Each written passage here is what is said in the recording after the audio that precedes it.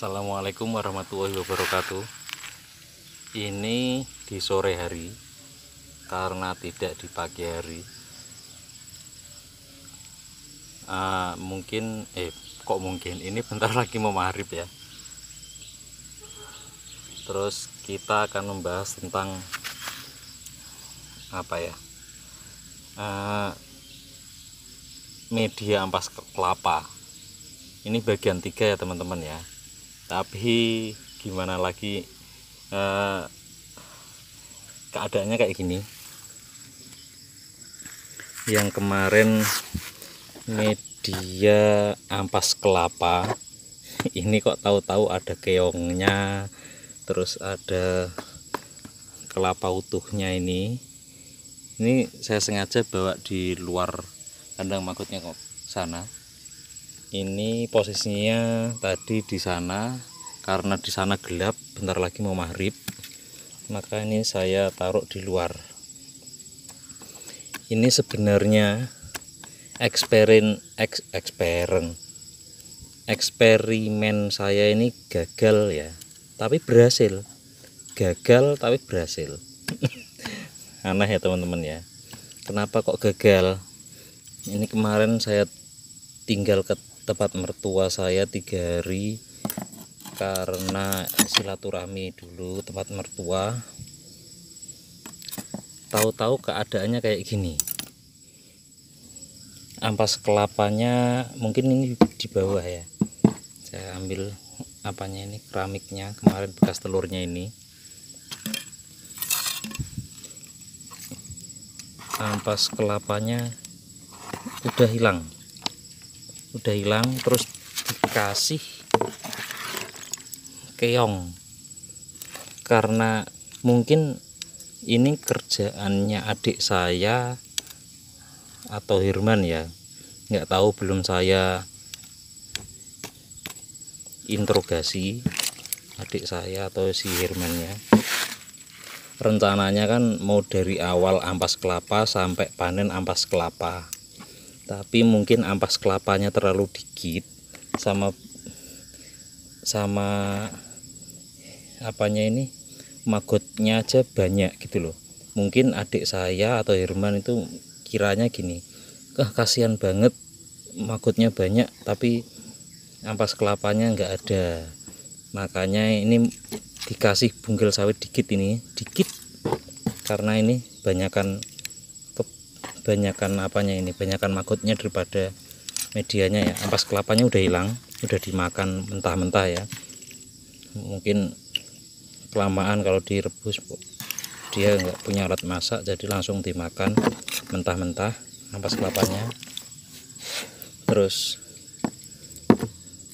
itu tadi karena nggak ada media nggak ada pakan terus dikasih bungkil sawit dikit dikit ini bungkil sawit udah jadi hitam karena kebanyakan magotnya.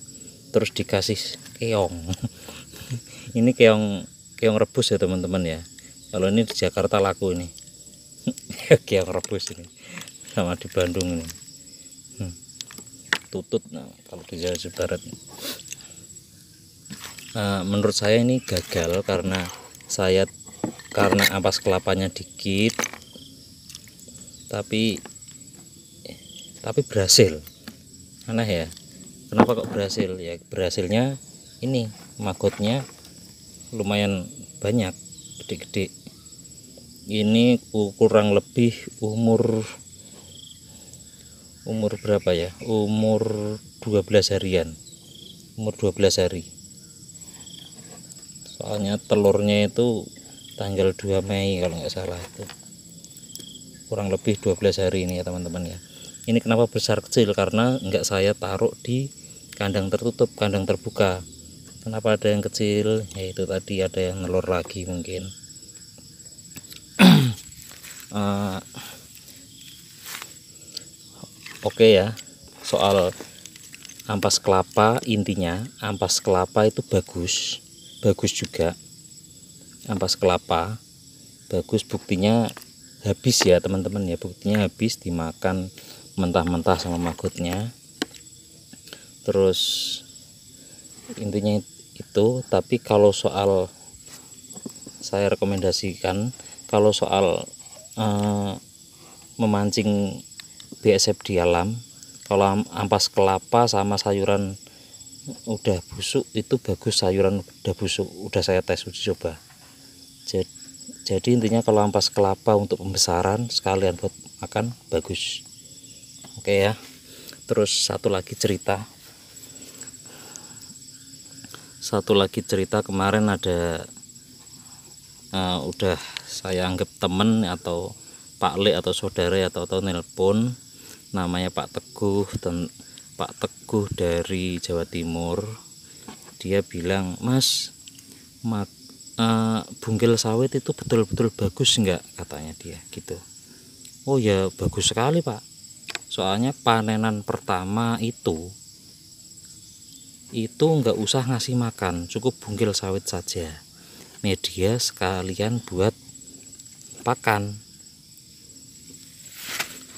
Nah terus kalau udah dipanen nah, panenan pertama medianya taruh lagi terus dicemplungkan lagi baru nanti dikasih makan. Soalnya daya pakan dan perpakanan yang tersedia di situ sudah tidak disediakan oleh Menteri Perpakanan. Pakannya habis ya. Habis itu ya kita harus ngasih makan panen kedua. Berarti intinya bungkel sawit bagus. Terus satu lagi ini penting.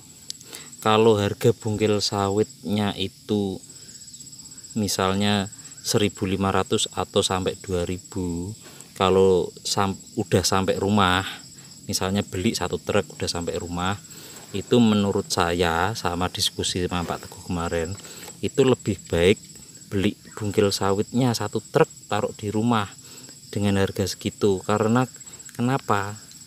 Karena kalau sama-sama ngangkut sampah di tempat sampah itu misalnya satu mobil itu tenaganya berapa upah orangnya berapa beli bensinnya berapa membutuhkan waktu seberapa kan gitu. Dihitung-hitung.